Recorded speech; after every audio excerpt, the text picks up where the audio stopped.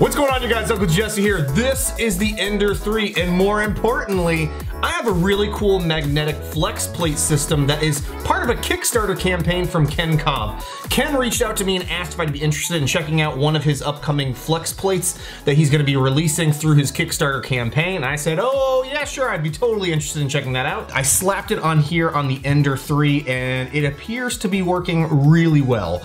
Uh, I'll take this off here in just a second and flex it off for you guys, but I just wanted to give you guys a quick rundown of his Kickstarter campaign. The campaign ends, and I think in less than one week. There are only two campaign contribution options, both of which will get you a flex plate.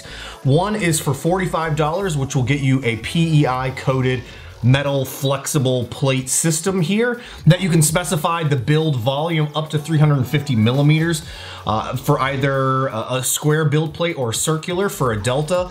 The other is a $60 campaign contribution which will get you the magnetic base as well, which is what I have here, which is very cool. So no more needing to have clip-ons or anything like that to hold your build plate in place. Basically, the back of the magnetic strip has uh, adhesive to it that'll stick to your build plate.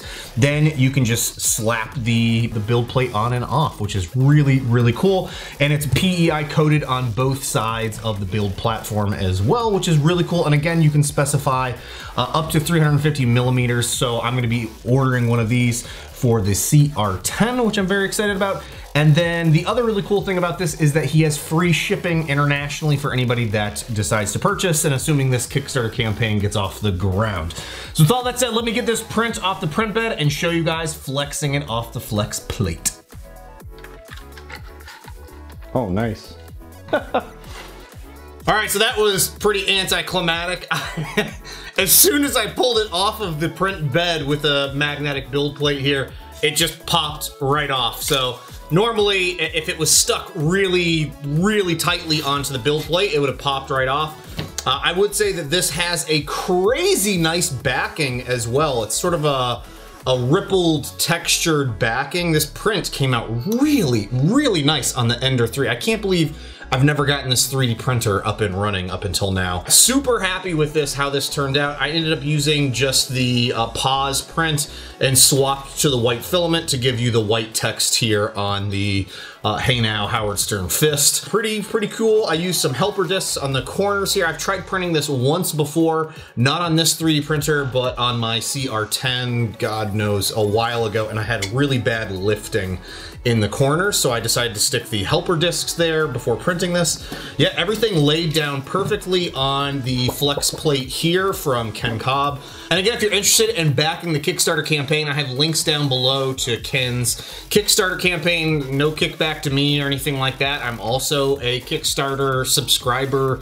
Uh, Kickstarter, I guess is the term for this campaign contributor for this campaign. And yeah, just wanted to share this with you guys and help out Ken. Uh, if you have a 3D printer and are looking for a magnetic build plate that has a flex system for it, this is a crazy, crazy good deal. And yeah, I just wanted to share this with you guys and hopefully you enjoyed. And thanks again for watching and I will see y'all next time. Look at that, helper discs, boom. Fold them, pop right off. Boom.